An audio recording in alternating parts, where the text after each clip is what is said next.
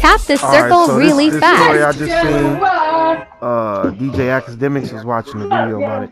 So apparently, there's a situation where uh, so there, there was a, a situation between uh, a boyfriend and a Are we playing girlfriend. trios or squads? Squads. It looked like they didn't give us a fourth. Should have made me part of it. But go ahead. Um. All right. So yeah, it was a, a situation between his boyfriend and girlfriend, right? Uh, the girlfriend had called the police because the boyfriend uh like borrowed a car and didn't give it back to her.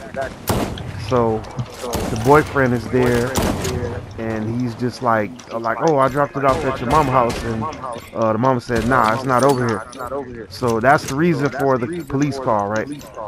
Uh, but I guess somewhere in there she told the police like oh yeah he, he has a gun too. And so I guess that kind of put them on edge or whatever. So they come there. The boyfriend show up. Uh, they, you know, they want to speak to him or whatever. So they, the they say, hey, well, she said he had a gun, so just pat him down, you know, or that he, he's basically he owns one. They, he didn't necessarily, she didn't necessarily say he it's had on a gun, him. but he owns a gun. Yeah. So they just said they patted. They they like patted him down like multiple times and stuff, right? So then they put him in the back of the police car. Now, uh, the lead police person, this, this girl, uh, she's talking to the girlfriend, and the other one, the other police officer is like kind of over there by the police car with the dude in the car.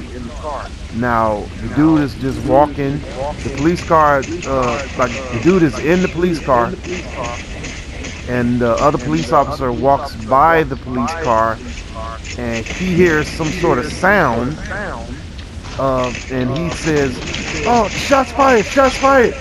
Like he doubles, like he he does like a duck and roll to the back of the car and just start lighting the car up or whatever and stuff. What? Shooting the car up.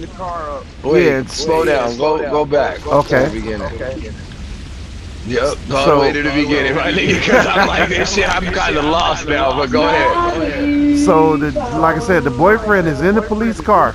They patted him down multiple times to make sure he don't have no no gun. Weapons. Yeah. So there's two police officers there. It's a male and a female. The the female is kind of in charge.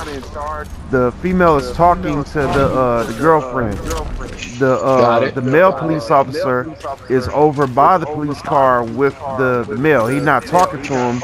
He just by the police car, which he's the the guy's in the back seat of the police car. Now the police uh, officer, the male police officer, hears something, um, which he says is gunfire. So he automatically Stop, starts- drops, and rolls. Yeah, he stops, drops, and rolls, and starts shooting at the car. He like, I'm hit, I'm hit, and he starts shooting or whatever and stuff into the car, unloading into the car, what like car? into the police car, Okay. where the where the, the, the dude is being held in the back seat. Yeah, wi- after they patted him hand- down multiple times. Yeah, with handcuffs on. Okay. So he's in the back seat. So they start unloading.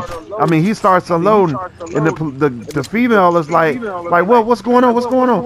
Like, yeah, he, uh, uh, uh, like, I'm shot. I'm hit. I'm hit. And like, where's the shots? She's like, where's the shots coming from? It's coming from the car. So she starts unloading. Both of them are unloading at the car. So in the end, like when stuff calms down, people, it's like the par- paramedics or whatever, they're trying to attend to the police officer. They're like, uh, oh, where, where's your, where you hit at? Where you hit at? You're like, uh, I, I don't know. Like they, they looking all around his body trying to see where he's been hit. Come to find out, He wasn't hit.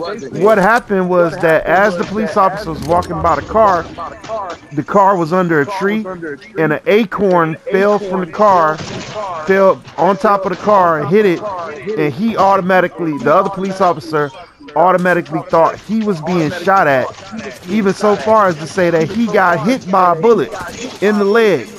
Talking about his legs are numb from the shot that he took. Oh man, so his adren- he was pumping on adrenaline. Yeah.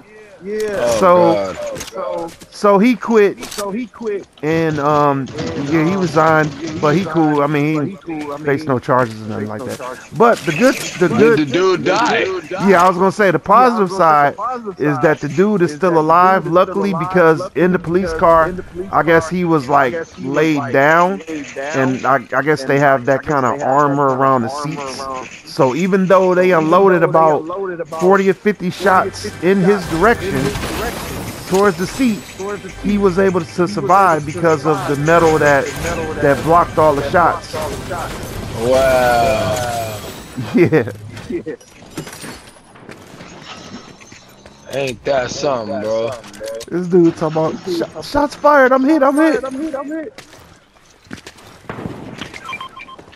That's so disrespectful. I know. That's why you don't trust popos.